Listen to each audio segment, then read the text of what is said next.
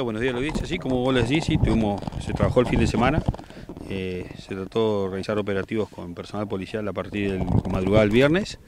Y sí, se fueron realizando esos controles a medida que el tiempo acompañó y fueron algunos, tuvimos algunos secuestros por alcoholemia y algunos vehículos que han sido retirados.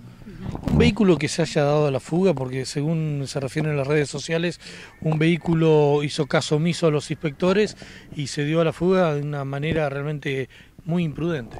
Sí, efectivamente, bueno, se le había realizado el test ya, la persona no quiso eh, que le saquen la unidad, así que se dio la fuga, bueno, los papeles ya están en el juzgado de falta, así que bueno, será juzgado. ¿Qué sucede en esa situación cuando la persona se fuga? En el acto se le pone que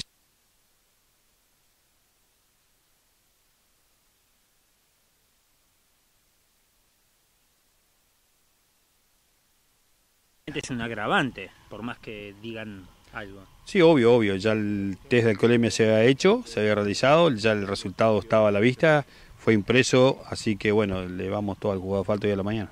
¿Tiene una eh, causa anexa por el hecho de, escapar de esta manera? Yo creo que es un aliciente en cuanto a la infracción por alcoholemia, que ya el darse la fuga y poner en peligro, riesgo la vida de inspectores, policías o algún transeúnte, ¿no? En este mismo hecho fue que el conductor agredió a los policías con una motosierra. Eh, no, eso fue en madrugada del sábado, creo que bueno que tuvieron un, solicitaron inspectores para hacer un control de alcoholemia en el puente de nuevo y hubo ahí un altercado con un vecino que iba conduciendo esta ebriedad. ¿Cómo terminó? Fue tipo 9 de la mañana, bueno, creo que la persona fue detenida y bueno, el auto está secuestrado.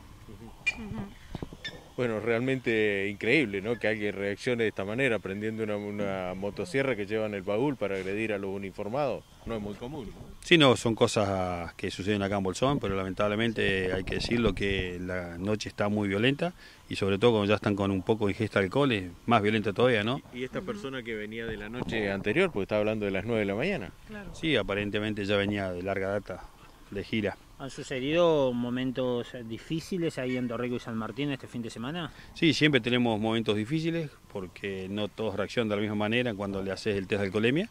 Pero bueno, eh, ya estamos medio como que acostumbrados, inmunizados, pero bueno, lamentablemente hay que decir que está muy grave eh, la noche, está muy peligroso también. ¿Tienen el acompañamiento de la comisaría para trabajar? Sí, positivo, tenemos acompañamiento de policía, si no, no se podrían realizar los controles. Observamos, sí, perdón. No, eh, accidentes de motocicletas, que este fin de semana también hubieron nuevamente. ¿Cómo se está trabajando con ese tema? Mirá, el tema, nosotros eh, no, en la parte operativa de tránsito contamos con algún vehículo que nos dan en su momento para trabajar. Eh, la idea es hacer controles más extensos, recorrido, patrullaje por toda la zona, no lo podemos hacer porque andamos caminando. pero sí, sí, en momentos que se puede identificar alguna motocicleta o algún motovehículo ya se le pide documentación, todo, y muchas veces surge que son menores de edad o no andan con los papeles encima, y bueno, queda retenido después ya dejó falta. Sí, sin registro, muchas veces inseguro, a veces son menores, a veces sin directamente ninguna documentación, y bueno, los vehículos son, muchos se dan a la fuga, eh, así que bueno, eh, los que a veces se identifican y están con algún faltante, pasan a disposición del juego de falta, siempre y cuando se secuestre la unidad, ¿no? Eh, observamos eh, durante el fin de semana una máquina vial estacionada sobre la calle Roca, enfrente de espacios verdes.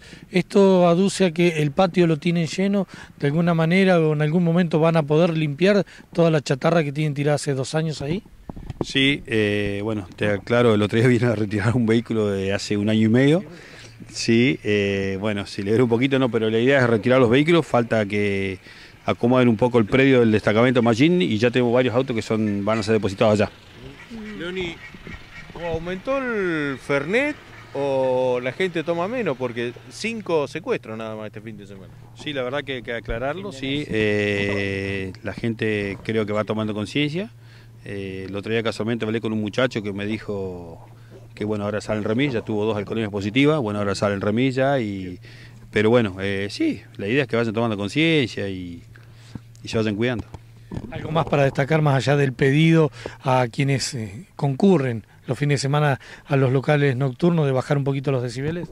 No, no, estamos trabajando tranquilos. Eh, bueno, eh, estuvimos cubriendo eventos de, atletismo que hubo, de la escuela mayores, adultos, bueno, y varios eventos más, como las mil millas y otros eventos que nos requieren y vamos cumpliendo en la medida que podemos. Bastante desorganizado, las mil millas dando vuelta en una avenida Belgrano, saliendo sobre Belgrano también sin mirar a quién viene, haciendo señas como que pará porque yo salgo con un carro. Bastante los autitos locos mal. Sí, lamentablemente no nos, no nos llegó ninguna, ninguna nota, fue algo pedido verbalmente. Nosotros hicimos la cobertura, lo que nos pareció conveniente dejar cerrado para que ellos puedan estacionar y almorzar acá en Bolsón al mediodía. Pero bueno, eh, fue algo, sí, como decís vos, que no estaba bien organizado como otras veces, ¿no? Leoni, gracias. No, gracias a ustedes. Gracias a ustedes. La palabra de Leandro.